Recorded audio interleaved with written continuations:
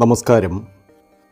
നവഗ്രഹങ്ങളിൽ രാജാവായ സൂര്യന്റെ ഉച്ചരാശിയാണ്. രാശിചക്രത്തിലെ ഒന്നാമത്തെ രാശിയായ മേടം.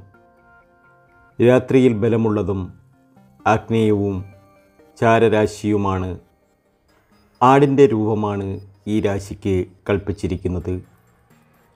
അശ്വതിയും ഭരണിയും കാർത്തികകാലും ഈ രാശിയിൽ വരുന്ന നക്ഷത്രങ്ങളാണ്. ആടാണ് ഈ രാശിയുടെ പ്രതീകം എന്നതിനാൽ തന്നെ മേടം ലഗ്നത്തിൽ ജനിക്കുന്നവർ ആട് തലയെടുപ്പോടെ ചാടുന്ന മാതിരി എല്ലാ കാര്യത്തിലും മുൻകൈയെടുത്ത് പ്രവർത്തിച്ച് മുന്നേറുന്നവരായിരിക്കും. ഇവരുടെ പ്രവർത്തനങ്ങളെ ബുദ്ധിയായിരിക്കും നിയന്ത്രിക്കുന്നത്. മേടരാശി കാലപുരുഷന്റെ ശിരസ്സാണ്. ഈ രാശിയുടെ അധിപതി ചൊവ്വയാണ്. സൂര്യൻ ഈ രാശിയിൽ ഉച്ചവും ശനി നീചവുമാണ്.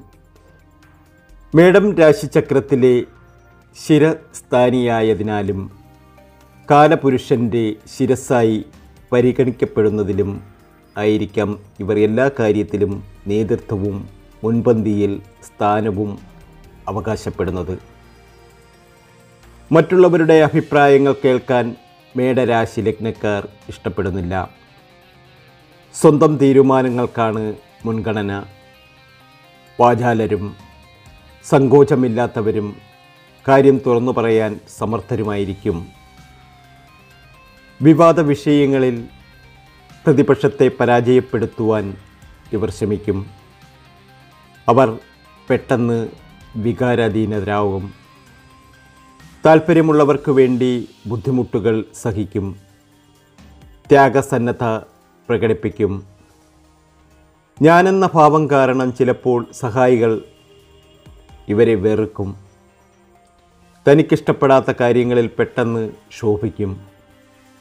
വാഗ്വാദങ്ങളിൽ നിന്ന് സമർത്ഥിയോടെ വിജയം വരിക്കും.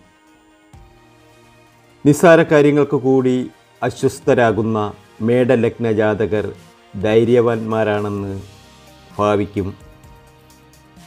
മനോസുഖം കുറവായ ഇവർ സ്വന്തം കഷ്ടതകളെ മറ്റുള്ളവരുടെ മുന്നിൽ കാണിക്കാറില്ല. മേടലഗ്നക്കാർ സ്ത്രീ ലോലുപരും ശൃംഗാര രസികന്മാരും ആയിട്ടാണ് കാണാറ്. ഇവർ സ്ത്രീകളെ ആകർഷിക്കാനും സന്തോഷിപ്പിക്കാനും സമർത്ഥരാണ്. സ്ത്രീകളുമായി ഇടപെടാൻ താൽപ്പര്യമുള്ളവരാണ് മേടലഗ്നക്കാരുടെ വിവാഹ ജീവിതം തൃപ്തി കുറഞ്ഞതാണ്. ഇതിനുള്ള കാരണം മേടത്തിന്റെ മേടത്തിന്റെ ഏഴാം ഭാവാധിപനായ ശുക്രൻ ആ സ്ഥാനത്തിന്റെ അഷ്ടമാധിപൻ കൂടിയായതിനാലാണ്. ഈ ലഗ്നക്കാരുടെ ഭാര്യ സുന്ദരിയാണെങ്കിൽ ആരോഗ്യം കുറവായിരിക്കും. നേരെ മറിച്ച് ആരോഗ്യവതിയാണെങ്കിൽ സൗന്ദര്യവും കുറവായിരിക്കും. വിവാഹ ജീവിതത്തിൽ പ്രശ്നങ്ങളും ഭാര്യവിരഹവും അനുഭവിക്കാൻ സാധ്യതയുള്ള ഇവർ നന്നായി ജാതകം നോക്കി വേണം ജാതക പൊരുത്തം നോക്കി വേണം വിവാഹിതരാകാൻ. മേടലഗ്നക്കാർ ഭക്ഷണപ്രിയരാണ്. സംഗീതത്തിൽ താൽപര്യരായിരിക്കും എത്ര ബുദ്ധിമുട്ടുകൾ ഉണ്ടായാലും മടി കാണിക്കാതെ ചുറുചുറുക്കോടെ പണി ചെയ്യും. ഇവരുടെ മേൽ അധികാരം ചെലുത്താൻ ശ്രമിക്കുന്നവരെ ഇവർ തോൽപ്പിക്കും. ആരുടെയും കീഴിൽ ജോലി ചെയ്യാൻ ഇവർ തയ്യാറല്ല. ശിരസിനെ സംബന്ധിച്ച രോഗങ്ങളും ദന്തരോഗം ശിരോരോഗങ്ങൾ എന്നിവ ബാധിച്ച് പഴച്ചിലവുണ്ടാ ഉണ്ടായിക്കൊണ്ടേയിരിക്കും. ലഗ്നാധിപനായ ചൊവ്വയും ധനാധിപനായ ശുക്രനും ഗുണപ്രദമാണ്. ചൊവ്വയും ശുക്രനും കൂടി നീചത്തിലോ ശത്രുക്ഷേത്രത്തിലോ മൂന്ന് ആറ് എട്ട് പന്ത്രണ്ട് എന്നീ ഭാവങ്ങളിൽ നിൽക്കുമ്പോൾ ജനിക്കുന്ന മേടലഗ്നക്കാർ വിഷയാസക്തി മൂലം അധപ്പതിക്കാൻ സാധ്യതയുണ്ട്. അനുസരണക്കേടും നീചജന സഹവാസവും ഉണ്ടാകും. ശുക്രനും ചൊവ്വയും അനുകൂല രാശികളിൽ ബലവാന്മാരായാൽ സദാചാരം ആത്മനിയന്ത്രണം ഭാഗ്യം ഇങ്ങനെയുള്ള കാര്യങ്ങൾ ഇവരുടെ ജീവിതത്തിൽ വന്നു ചേരും ആത്മാസ്ഥാനമായ അഞ്ചിൽ വ്യാഴം നിൽക്കുകയോ നോക്കുകയോ ചെയ്യുമ്പോൾ ജനിക്കുന്നവർ നിഷ്കളങ്കരായിരിക്കും. അഞ്ചാം ഭാവത്തിൽ വ്യാഴം നിൽക്കുകയോ നോക്കുകയോ ചെയ്യുമ്പോൾ പത്തിൽ ചൊവ്വയോ ശനിയോ നിന്നാൽ വളരെ പ്രാപ്തിയോടെ പ്രവർത്തന മണ്ഡലത്തിൽ ശോഭിക്കും. മേടലഗ്നക്കാർക്ക് വ്യാഴം ഭാവാധിപനും ദുരിതാധിപനുമാകുന്നു. ഭാഗ്യമായ അഭിവൃദ്ധിയും നിർഭാഗ്യമായ നാശവും വ്യാഴത്തിന്റെ ഭാഗ്യദുരിത സ്ഥിതി കൊണ്ട് തന്നെ ഉണ്ടാകും. അത് മേടരാശിയുടെ പൊതുവായ ഫലമാണ്. പെട്ടെന്ന് വിജയമോ ലാഭമോ ഉയർച്ചയോ ഉണ്ടായാൽ അധികം വൈകാതെ താഴ്ചയും ഉണ്ടാകുമെന്ന് കരുതണം. അവിചാരിതമായ വിപത്തുകൾ കൊണ്ട് ആദായമാർഗങ്ങൾ ഇല്ലാതെയാക്കാനും സാധ്യതയുണ്ട്. എന്നാലും വിഷയകരമായ അവസ്ഥയിൽ അധികം ക്ലേശം വരാത്ത ക്ലേശം വരാത്ത വിധത്തിൽ യാദൃച്ഛികമായി ഈ ഈശ്വര സഹായമുണ്ടാകും ദോഷങ്ങളെ നിയന്ത്രിക്കാൻ ലഗ്നാധിപനായ മേടത്തിന്റെയും വൃശ്ചകത്തിന്റെയും പന്ത്രണ്ടാം ഭാവാ ഭാവാധിപത്യവും രണ്ടാം ഭാവാധിപത്യവും ഒമ്പതാം ഭാവാധിപത്യവും അഞ്ചാം ഭാവാധിപത്യവും ഉള്ള വ്യാഴത്തിന് കഴിയും. മേടലഗ്നക്കാർ പരദേശത്ത് താമസിക്കാൻ സാധ്യതയുണ്ട്.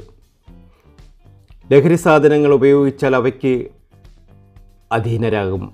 മേടലഗ്ന സ്ത്രീകൾ സുന്ദരികളും നല്ല ഗൃഹനായികമാരും ആയിരിക്കും. ക്ഷമാശീലം കുറവായിരിക്കും.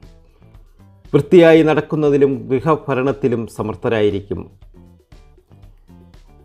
വ്യായ ഭാഗാ ഭാഗ്യാധിപനായ വ്യാഴവും ചന്ദ്രനും സൂര്യനും ശുഭകാലം നൽകുന്നു.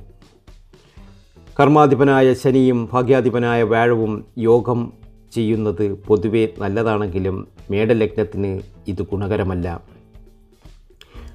വ്യാഴവും ചന്ദ്രനും ഒന്നിച്ചു നിന്നാൽ ഗുണകരമാണ്. ലഗ്നാധിപനായ ചൊവ്വ അഷ്ടാധിപൻ കൂടിയായതിനാൽ തനിയെ നിന്നാൽ ഗുണം ചെയ്യില്ല. ചൊവ്വ ബുധനോട് ചേർന്നാൽ ദോഷഫലം കൊടുക്കും. ചൊവ്വയും ശുക്രനും കൂടി നിന്നാൽ ഏറ്റവും ശോഭനമാണ്. വ്യാഴവും ചന്ദ്രനും ചൊവ്വയും സുഖജീവിതത്തെ കൊടുക്കും.